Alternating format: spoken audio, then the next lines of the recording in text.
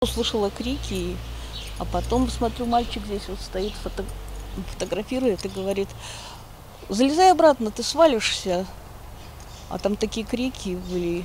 Потом смотрю, парни бегут со всех вот этих вот подъездов. Бегут, бегут, и потом кричат, зовите МЧСников, вызывайте. А потом говорит, о, все поздно, вон вот здесь вот, по видите, там цветы, тут кровь, все.